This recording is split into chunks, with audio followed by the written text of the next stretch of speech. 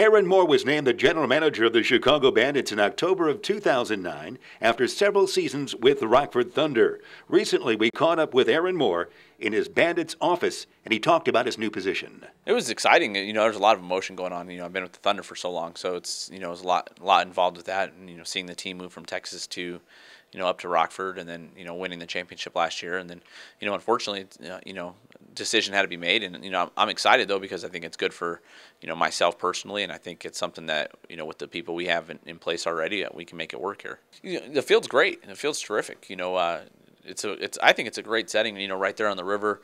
Um, it'd be great if we can fill those seats. That's what that'll make it even an even better venue, you know. So we're really working hard, and uh, we have a lot of programs that we're working on trying to get in place. And I've been working with uh, the Elgin School District and some um, other school districts uh, with a reading program that Andrew Phillips has taken on. So you know we have a lot of things that are going on right now that try to increase the the knowledge of people in the area that the Bandits are still here and the Bandits are still going to be playing at Judson.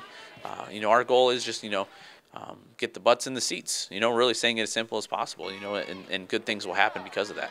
The, the reading programs, you know, it's a free program for for schools to get involved in. All they have to do is just uh, send in the information or give the office a call and, and, get themselves signed up. But it's a program where we're not only encouraging kids to read, but to you know do all their other school work, and the teachers will sign off on their their work, and you know the kids will get uh, certain prizes. We're still working on certain prizes for that, but you know part of that they get a couple tickets to a game and get to come out and you know experience the the time with the Bandits. You want to get the kids out. That always helps. Kids are kids are huge. You know I think one thing that that we had success in in Rockford was not only going for the kids but going for other markets.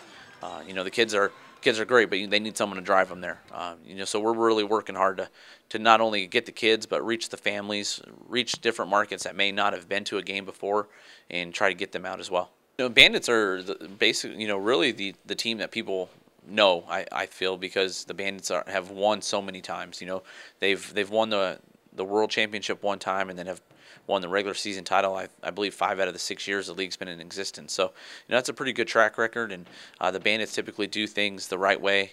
Um, as far as the way that they market and promote, and you know, it's, it's exciting to be a part of that and uh, to continue to move forward. And hopefully, we can continue to grow not only the, the game of fast pitch in Elgin and surrounding areas, but throughout Illinois, and then you know, expand out into other areas.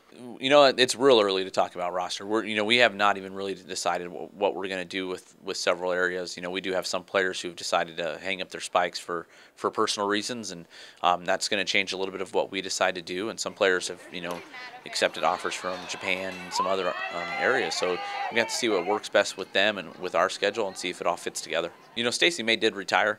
Um, you know, I, she's definitely one person that's going to have to be replaced, and she's not someone you can replace easily. Uh, we have somebody um, on the roster already who can step in, Amber Patton, and, and fill that spot. Uh, you know, Laura Harms is another player who retired, you know, following last season. And, you know, she's a player that has been in the league a long time, so she knew exactly what was going on, knew her role.